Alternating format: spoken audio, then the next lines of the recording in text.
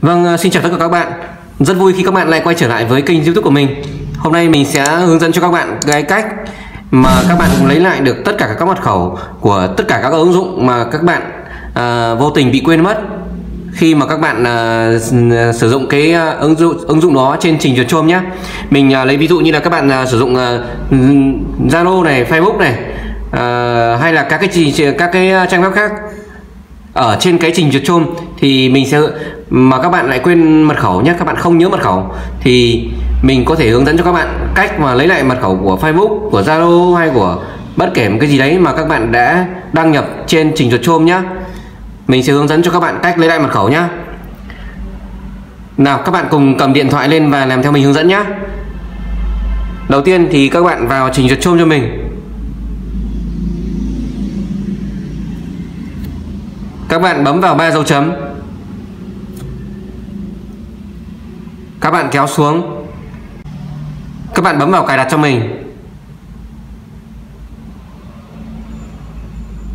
Các bạn tiếp tục bấm vào mật khẩu. Đến đây các bạn. Khi mà các bạn bấm vào mật khẩu nhá, thì nó sẽ hiện ra tất cả những cái trình duyệt, những cái à, phần mềm, những cái ứng dụng mà các bạn đã sử dụng trên trình duyệt Chrome à, ví dụ như là những cái trình duyệt những cái ờ, trình duyệt ờ, Zalo uh, khi mà các bạn đăng nhập Zalo trên hai máy điện thoại các bạn.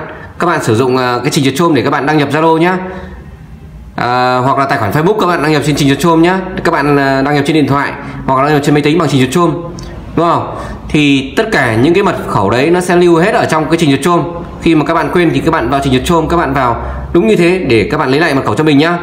Các bạn tiếp tục vào bấm vào dấu mũi tên nhá đến đây các bạn. Khi mà các bạn bấm vào mũi tên rồi đến đây thì uh, các bạn bấm vào cái con mắt này nhá. Ở đây thì nó có cái ờ, ví dụ mình các bạn muốn lấy một cái mật khẩu của cái uh, trang web nào đấy hoặc là của cái ứng dụng nào đấy thì các bạn bấm vào thôi ứng dụng đấy sau đó các bạn bấm vào con mắt này. Thì nếu mà điện thoại của bạn ấy của các bạn chưa cài mật khẩu nhá thì các bạn bấm vào con mắt này. Thì nó sẽ yêu cầu cái điện thoại của bạn cài mật khẩu nhá.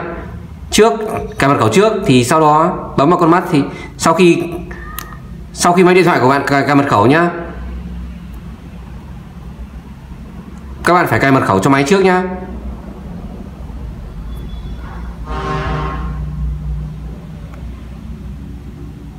Đây mình ờ, lấy ví dụ mật khẩu bất kỳ đi. Đấy.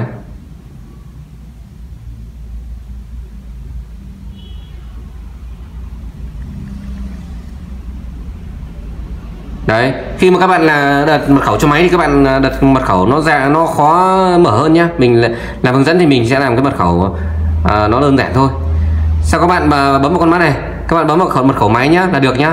Đấy cái mật khẩu mà lúc đấy các bạn vừa tạo cho mật khẩu cho máy ấy, thì khi các bạn bấm vào mật khẩu xong thì cái mật khẩu của máy các bạn vừa tạo xong thì nó sẽ hiện mật khẩu của cái mà trình duyệt mà các bạn quên. Nó sẽ hiện đến đây các bạn nhá. Đấy đấy là cái cách mà các bạn có thể lấy lại lại được lại được bất kỳ các cái mật khẩu nào trên trình duyệt Chrome nhá. Nó rất là đơn giản phải không các bạn? Đấy nếu mà các bạn lỡ quên mất thì các bạn cứ vào Chrome mà làm theo hướng dẫn của mình thì sẽ lấy lại được mật khẩu nhá. Chúc các bạn thành công nhá. Ờ, các bạn thấy video mình hữu ích thì các bạn kỷ niệm mình một uh, like một đăng ký kênh nhá. Các bạn nhớ đăng ký bật chuông ủng hộ mình nhá để, để không bỏ lỡ những cái video uh, tiếp theo của mình nhá. Video của mình đến đây là kết thúc các bạn. Cảm ơn các bạn đã quan tâm theo dõi nhá. Xin chào và hẹn gặp lại.